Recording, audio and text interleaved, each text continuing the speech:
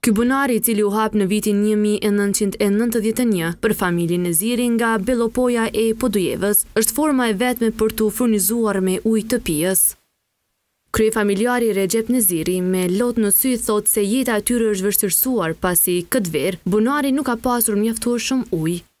Ai thotë se blerja ujit të pijshëm po i kushton xhepit familjar, po ashtu, furnizimi nga vendet më të largëta është bërë i mundimshëm.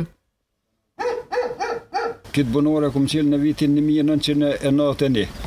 Tu më nimue vllaznia, Allahu edhe mjeshtët. Dhe tash pas tridhjetë viteve ju po duhet me e përdorë për me, për ujë t'pijës. Duhet me përdorë ujë të trubull me pi. Vallai jem në hall. Pasha zotin s'di ça ça do të bojm veç me lshu ktu vend ket me dal diku.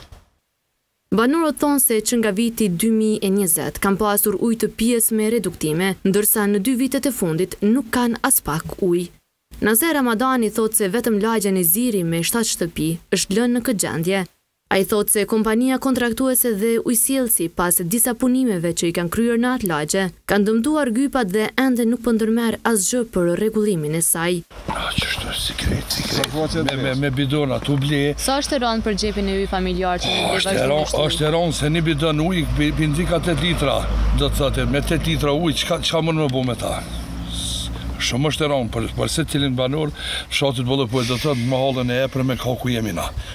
të jetuar.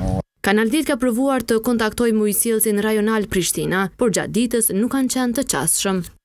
Ndërkohë nga Komuna Podujevës kanë thënë se janë duke u marrë seriozisht me këtë problem të qytetarëve të Bellopojës.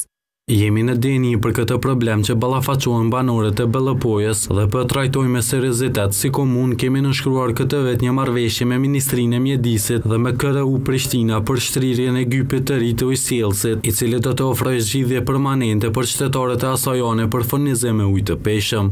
Përveç këtij fshati, edhe shumë vendbanime të tjera në Kosovë vazhdojnë të përballen me elementin kryesor të jetës, sigurimin e ujit të pijës.